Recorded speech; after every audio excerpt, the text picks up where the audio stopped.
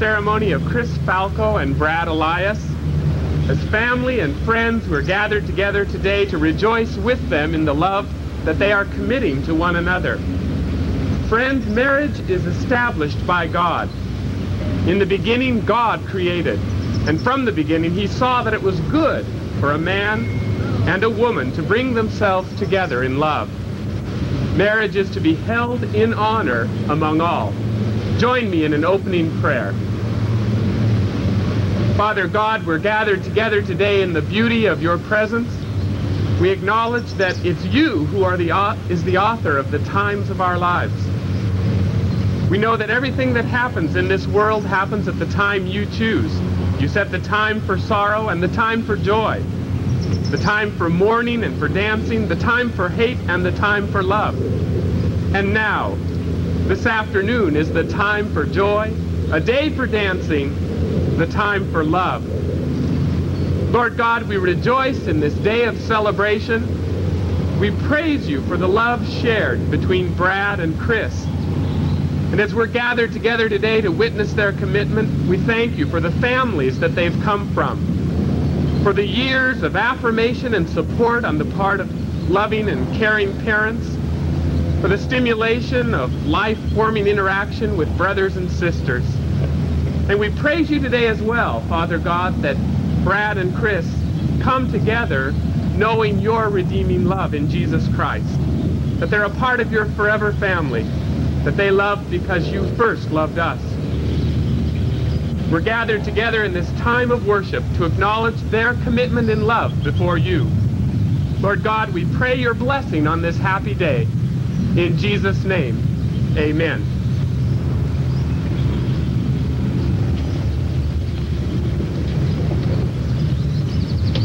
Gives this woman to be married to this man?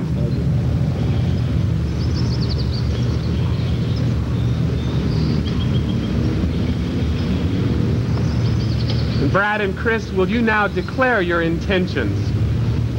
Brad, will you have this woman to be your wife?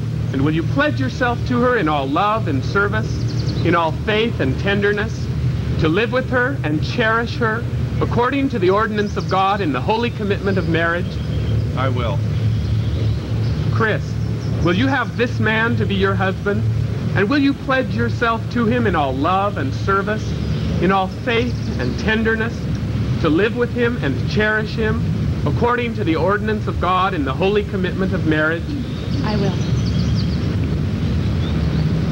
A wedding takes just a few moments, but a marriage, ah, a marriage takes a lifetime. A marriage can't be built just on flimsy emotion, because you see, feelings come and go. They're a bit like a roller coaster at times. They're fine in and of themselves, and they have their place, don't get me wrong. We all enjoy the warm pink fuzzies of romantic love. But your marriage requires a firmer foundation than that. And so I challenge you now to hear these words from the Apostle Paul as he describes to us what is needed to build a life together on. It's nothing less than the love of God. If I speak with the eloquence of men and of angels, but have no love, I become no more than blaring brass or crashing cymbals. If I have the gift of foretelling the future and hold in my mind not only all human knowledge, but the very secrets of God, and if I also have that absolute faith which can move mountains, but have no love, I amount to nothing at all. If I dispose of all that I possess, yes, even if I give my own body to be burned, but have no love, I achieve precisely nothing. This love of which I speak is slow to lose patience. It looks for a way of being constructive. It is not possessive. It is neither anxious to impress, nor does it cherish inflated ideas of its own importance. Love has good manners and does not pursue selfish advantage. Love is not touchy.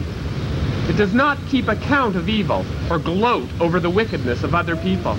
On the contrary, it is glad with all good men when truth prevails. Love knows no limit to its endurance, no end to its trust, no fading of its hope. It can outlast anything. It is, in fact, the one thing that still stands when all else has fallen. In this life, we have three great lasting qualities faith, hope, and love. But the greatest of them is love. Before you repeat your vows to one another, I want to take some moments to say some words of pastoral encouragement to you. And the rest of you are invited to listen in. I've been counseling now with Brad and Chris for a number of months and want to remind them of some things that we've talked about, some things that are important. We live in a time when marriage is, in many circles, an outmoded idea. Culture says marriage, ah, it's just a piece of paper. It's a legal formality. It's a contract, and I've been in weddings, not that I've conducted, but weddings where I've heard vows spoken, where they promise to love one another as long as they feel like it. Or I promise to love you until something better comes along. God says no to that. Brad and Chris, we've talked together about why you've chosen to be married in a Christian ceremony. And it relates to the fact that marriage is God's idea. Marriage is a commitment. And the vows that you will speak to one another in a moment are a promise to love one another totally with all that you are, physically, mentally, socially, emotionally, and spiritually. All that you are is offered to your partner. You see, in God's sight, marriage is a state of unity. Two become one. No longer does God look at you and see two individuals, but rather each of you is now an integral part of one another. In God's arithmetic, one plus one equals one. You are two parts of one whole, one unit. And each of you is essential to make that unit complete. So Brad, in loving Chris, realize that you're really loving yourself. And so be sure to give her all the affection that she needs. And Chris, as you love Brad, you're really loving yourself. So be sure to give him all the support and affirmation and encouragement that he will need. Now, no couple approaches marriage and instantly has it solved. Uh, the I-do's are not a quick and easy step to instant unity. There, you have much in common, and there will be times when it's very easy for you to feel like a unit. But uh, there will also be times when it will be difficult for you to consider yourselves a part of one another, like struggling with too much budget left at the end of the month, or when the day in which God blesses you with children, when you have to get up not just at 2, but at 3 and 4 and 4.30 and 5 to cope with sick children. It could be as simple a thing as who's going to take out the garbage. And there'll be stress and there'll be tension. And how do you cope with it? Well, always remember that you're on the same team. And Brad, you need to be Chris's chief cheerleader. And Chris, you need to be Brad's chief cheerleader. A friend of mine once said that if a marriage can survive getting ready for a family vacation and putting up the Christmas tree, it can survive anything. the point is that marriage will take work, hard work at times. It takes careful nurturing if it's to grow into the thing of beauty that God wants for the two of you. Brad and Chris, be careful that you nurture your commitment of love with the kind of love that God can give you. That's the thing that will hold you fast and steady in a world that will knock you about. That love has been read to you in the passage from 1 Corinthians. It's a love that is patient and kind. And so as you're both going to work, there will be times when you'll come home at the end of the day and neither one of you feels like giving anything to the other. And that's when you need the love of Jesus that's patient and kind. The love of Jesus is not ill-mannered or selfish or irritable. It enables you to joyfully seek opportunities to be servants to one another as you establish the patterns of your new home and you must remember that marriage simply isn't a happy place for selfish people. The love that Jesus can supply you with doesn't keep a record of wrongs. It freely offers the nine words that are most successful for your, most necessary for the success of your marriage. Those nine words, I'm sorry. I was wrong. Please forgive me. And it's only as those words flow freely between the two of you that then those three other special words, I love you, really take form and substance and can be believed. Remember that you're marrying a sinner. Neither one of you is perfect. I think you knew that. You've worked that out in lots of ways already. But you need to remember it. And you need to be willing to freely give the forgiveness that's necessary so that your marriage isn't a marriage that's a trading stamp marriage where you're saving up wrongs and licking them like stamps into a trading stamp book, only to be cashed in later at some little thing that ticks you off. That won't help your marriage. At the end of the day, before the sun goes down, make sure you've dealt with whatever resentment or tension might flow between you. God says, don't let the sun go down on your anger. That means end the day on the same team. The love of Jesus never gives up. It knows how to hang in there even when your schedules or your circumstances stretch you to the limits. The love that you need to nurture your marriage commitment isn't available on your own. Your own resources will give up and dry out. You'll find that out soon enough if you haven't already discovered that. But God's love, ah, the love of God is limitless. And I trust that you will draw on that for the years ahead that God gives you. Brad and Chris, I challenge you to learn to give to one another out of the abundance of the love of God. Build your life together around the Lord Jesus. You know him individually as your Lord and Savior, and what stretches before you is the exciting adventure of making him Lord and Savior of your marriage. And now we want to take a few moments just to let those thoughts sink in, and the Rose Quartet will play some music for us as we take moments to meditate.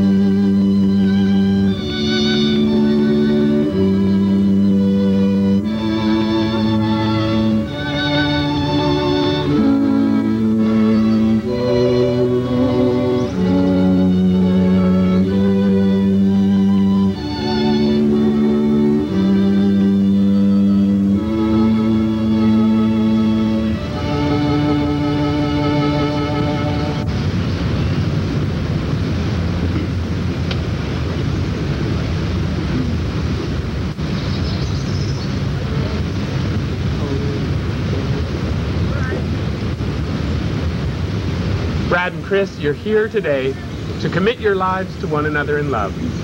So now, before God and these witnesses, I invite you to join hands and repeat your vows. I, Brad, take you, Chris, I, Brad, take you, Chris, for my lawful wife, for my lawful wife, to have and to hold. To have and to hold. From this day forward, from this day forward, for better, for worse, for better, for worse, for richer, for poorer, for richer, for poorer, in sickness and in health. in sickness and in health. I promise with God's help to be your faithful husband, I promise with God's help to be your faithful husband, as long as we both shall live, as long as we both shall live, because I love you very much. because I love you very much. I, Chris, take you, Brad, I, Chris, for my lawful husband, for my lawful husband, to have and to hold from this day forward, for better, for worse, for richer, for poorer, in sickness and in health. I promise with God's help to be your faithful wife, as long as we both shall live, because I love you very much. because I love you very much. Brad, you have a ring as a sign of this promise that you've just made.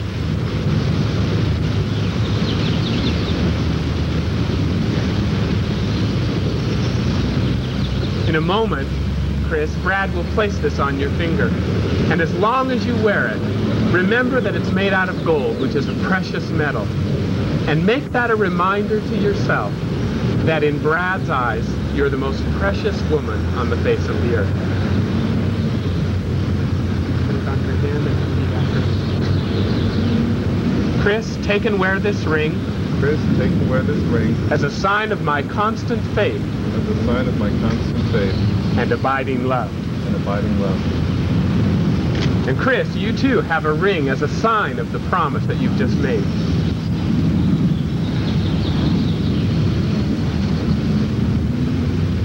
Brad, in a moment, Chris will put this on your finger. And as long as you wear it, realize that it's a circle that has no beginning and no end. And realize that the promise that Chris has made to you is like that. A promise that has no beginning and no end. She's yours forever and wants to love you and cherish you as long as she lives.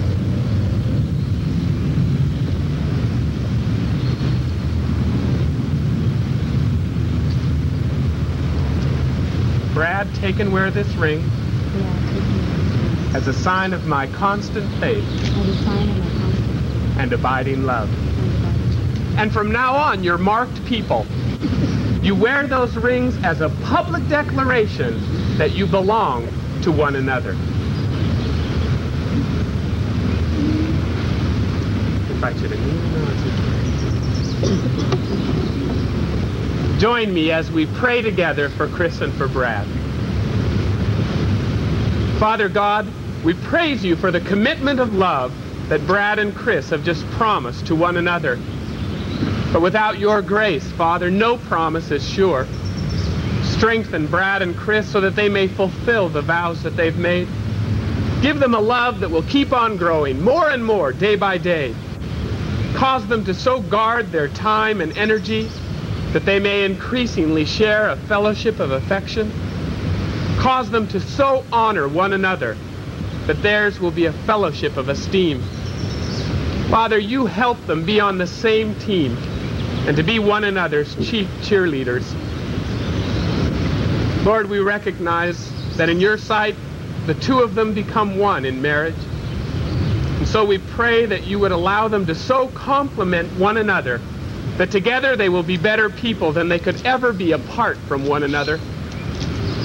And Father God, as marriage requires careful nurturing and at times hard work if it's to blossom and grow, we pray together now that you will cause Brad and Chris to be to one another instruments of your peace. Where there is hatred, let them sow love. Where there is injury, pardon. Where there is doubt, may they sow in one another's lives seeds of faith. Where there is despair, may they be to one another a bright ray of hope. Where there is darkness, let them bring light to one another. Where there is sadness, joy. Father God, we pray that you would grant that they may not so much seek to be consoled as to console, to be loved as to love, to be understood as to understand. May they know in their relationship the joy that it is that in giving they will receive. In pardoning they will be pardoned, and it is in dying that they will be born to eternal life. Hear this, our prayer for Brad and for Chris, in Jesus' powerful name. Amen.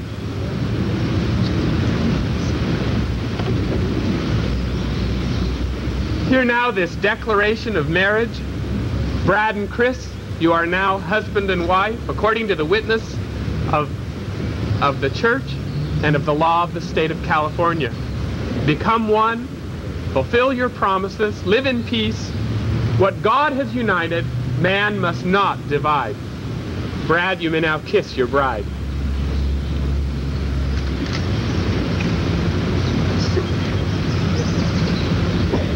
And may the blessing of God, the Father, the Son, and the Holy Spirit be with you now and forevermore.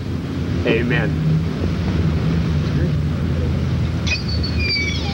Ladies and gentlemen, it is my pleasure to introduce to you Mr. and Mrs. Brad Elias.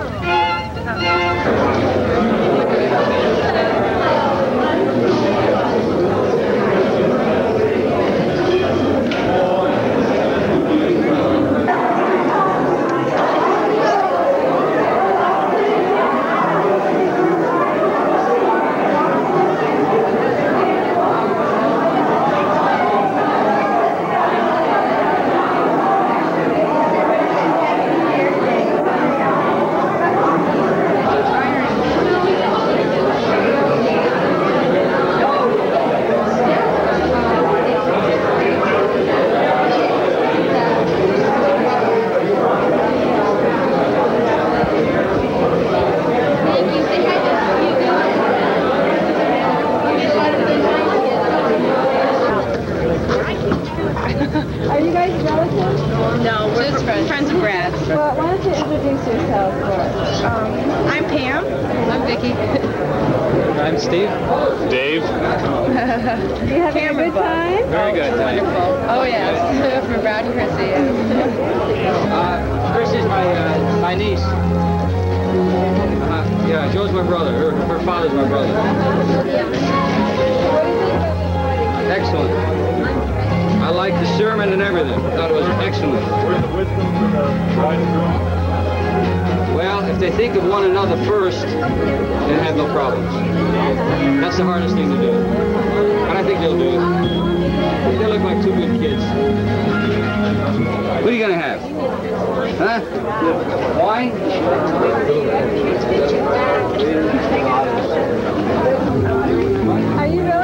Are of the Yeah, we bride? sure. Yeah. Let me guess. You are brother of the bride's dad. Both of us. Both of you. What are your names? Tony. Tony? Angelo, Angelo. this is my daughter, Rosalie.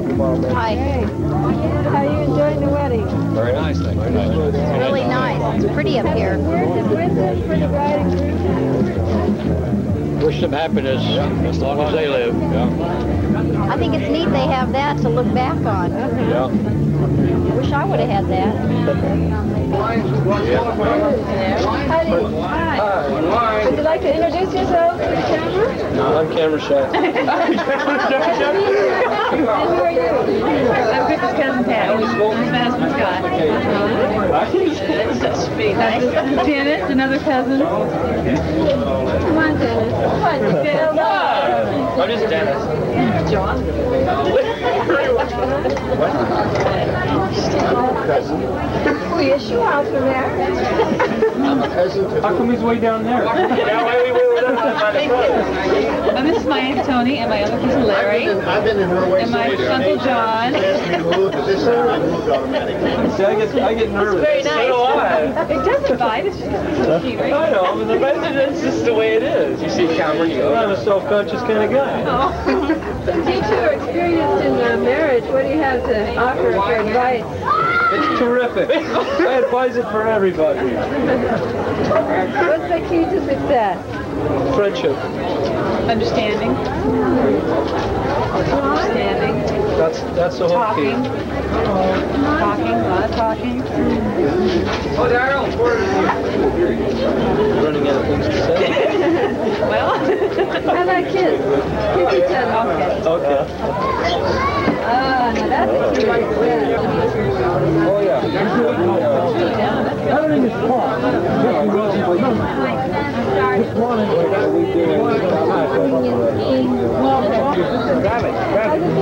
Oh, great.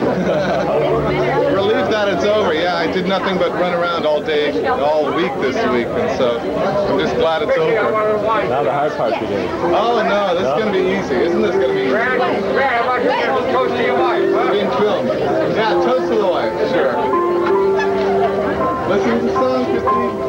To be a married woman? I don't know yet. I don't know yet. She'll find out tonight, I guess. Wait, to us. Click. I think we got, gotta go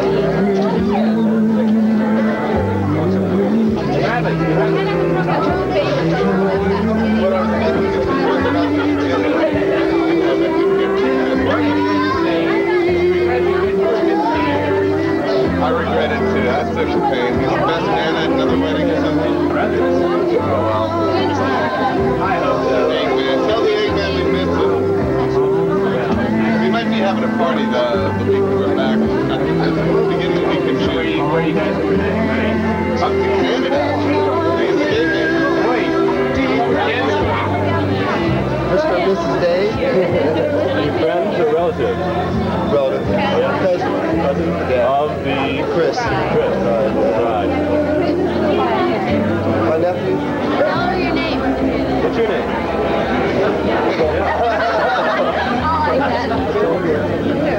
Hello, Bobby. Oh, it's wonderful. Hey, Kenny. What do you think of the wedding? Couldn't have been more beautiful. Just fantastic. I love the sermon too. Is this your first uh, child you've married off? Yeah. My only daughter. Your only daughter. She chose well. Very nice. Now you can start living, huh? Four of them are about ready. I got like three, four of them. Now they're about. How about that? How'd you manage? Oh, I, I cried a little bit. the first one you've ever yeah, been the to? first one I've ever been to. God, that's amazing. i Do you have any words of wisdom for Chris? Chris uh, and, and Brad? No? No, I just wish them happiness. I can't advise them. She wants your picture, Mom. Yeah. Oh, just my picture. I don't have to talk. If you want. I'm so nervous. Beautiful wedding, beautiful day. I'm so happy. It's just been great. My brother's daughter got married, and we're all so happy. Uh-huh. And it's been beautiful so far. Any words of wisdom for? Pardon? Do you have any words of wisdom for them to help them through their married life Wisdom. Do I have any wisdom? or advice? Oh, I don't know. It's uh, communication. Lack of communication is one of them. And working together, not one side. Got to give and take. Thank you. Thank you. That's good enough. I'm not good at catching people. Where am I? Now give some words of wisdom about marriage. The only words of wisdom I have to say is take no one's advice. That's the only words of think that's the wisdom I best have. advice of the day. Best advice is take no one's advice. Okay? Okay. Well, who are you anyway? I'm Larry Avery. Larry. You have some words of wisdom for the bride and groom? Yeah, tolerance. it's hard. Have tolerance. Yeah. Larry's still working on that one. Speaking from advice, uh, from uh, experience there. About 13 years experience. yeah, that's enough. Look at that, I can't tell. Yeah, it is. Yeah, wonderful wedding. Great. You all friends of the family or family members? Both. Both? Uh-huh. Hope Chris and uh, Brad have a wonderful marriage. Any words of advice or? Uh... Uh, no. I refuse. Why don't you introduce yourself real quickly? I'm Margie Kevorkian. This is my daughter Lisa. I'm uh, Canon Jensen. I'm Barbara's Falco's cousin. Uh huh. This is I'm Gail Jensen. And I'm Jane Hancock, a friend of Chris. Great. CB, uh, CBC. Would you like to introduce yourself? It's got to be out. Oh, she knows who I am.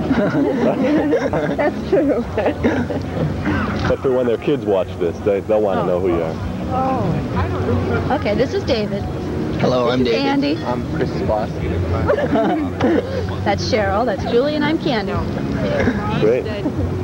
Any words of wisdom or advice? Uh, It's too late now. I'm Dorothy. I'm Wayne. Gail, hiding behind her. Gail, Chris's kids will never know who you are. Who's the funny one in the brown jacket, right? the shy cauliflower. who are you? Uh, Joe DiMarzio and Artie. Are you relatives or Oh, friends? very good friend of Joe, uh, bride's father. Uh-huh. Having a good time out Oh, here? just excellent. Real good. Very happy to be invited. Do you have some words of wisdom? Oh, just do their best to stay together. That's the most important thing. I yeah. think so. Just hang on to everything. There. Oh, you're going to put Hi. us on film. Refuse. Just don't get my double chin. Get him out of here. Get the head off. Oh. Have a good time, Christina. Yeah. Do you have any words of wisdom for us? Very beautiful. Oh, the- oh, you do. Uh, Oh, that's recording us. Oh no, I didn't realize it was recording you. Well, Learn how to adapt to change because you never know. How rapidly things change. and not only that, always do a little more. You know, it's a 52-52 proposition. Try to live from day to day and enjoy it, even though tomorrow may be rugged. That's all I can think of at the, at the moment. Wonderful. Don't forget to have a sense of humor. Above all.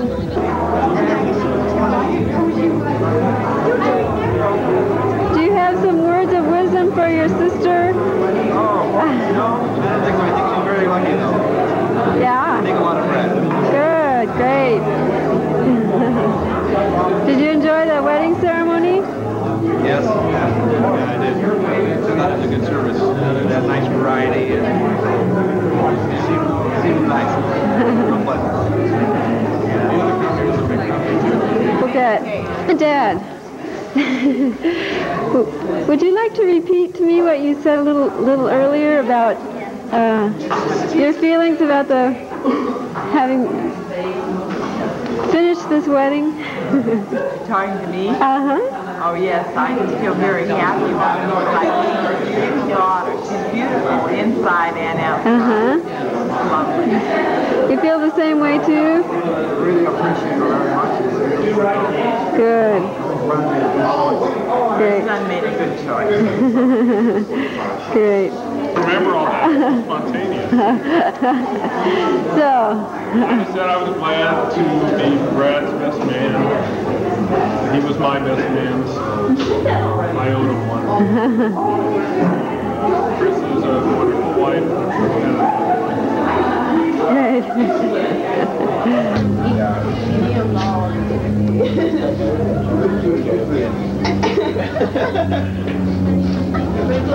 Brad. 20 years from now. Good looking.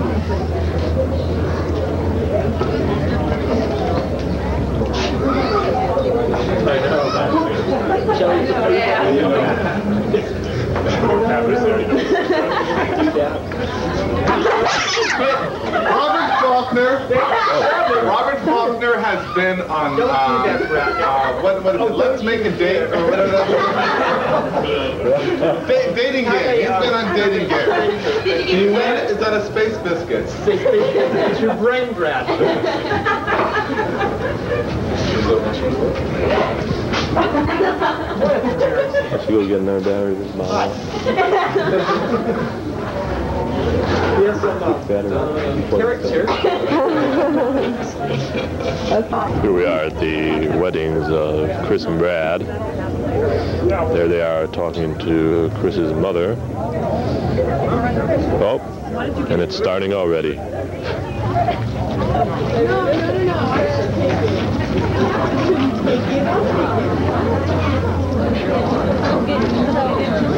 Let's listen in.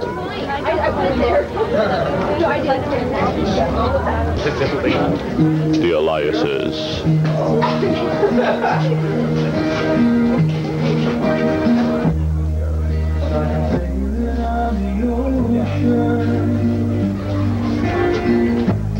Every time I see you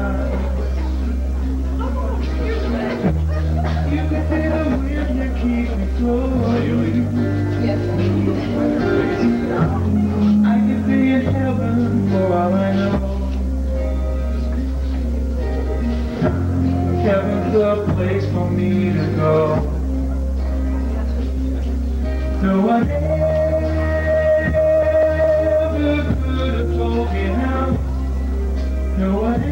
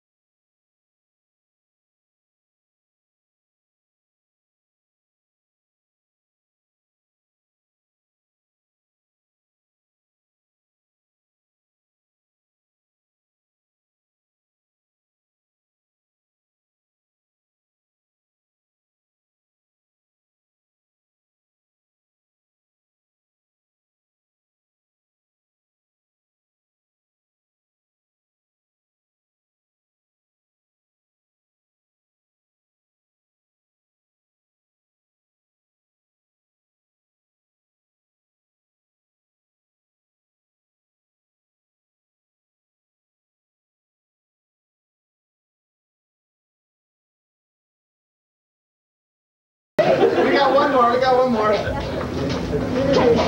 What's this one? Is it? Yes. Billy Joel. Do you want to? Billy Joel.